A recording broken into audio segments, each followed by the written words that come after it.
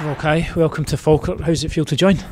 Uh, I know I'm delighted to get it done. Obviously, I've been injured the last couple of weeks and months, and I'm just delighted to be back with the gaffer. And obviously, it's a big club, so I want to get promoted, and I'm glad to be here. So obviously you'd be raring to go anyway, but given the fact you've been injured, even more excited to, to start playing games.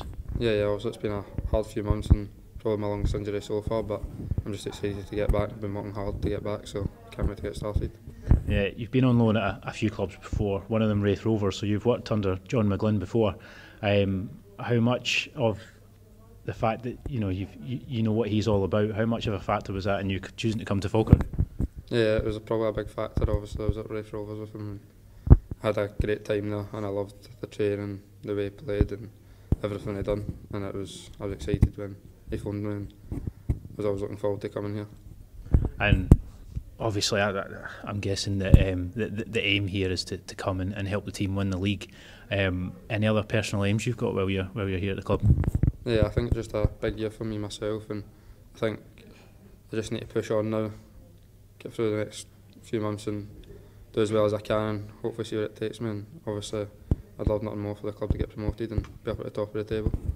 And obviously, some of the Falkirk fans might not have seen you play before.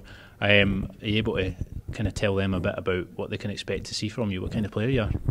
I'm just really positive. I always look to take my man on. I think most of the time I just look to take, go forward, and my first thought's always to go forward or, or dribble by people. And I think I need to add goals and assists to my game, which hopefully I came here to do.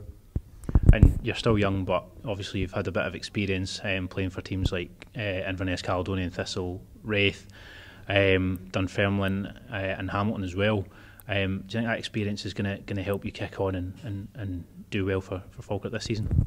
Yeah, I think the experience I've had's been good so far. There's been ups and downs in it, and I think playing in the championship was, of course, a hard league as everyone will know, and I think I've done okay. I could have done better, but I think I'm here to push myself and get to help the team as much as I can.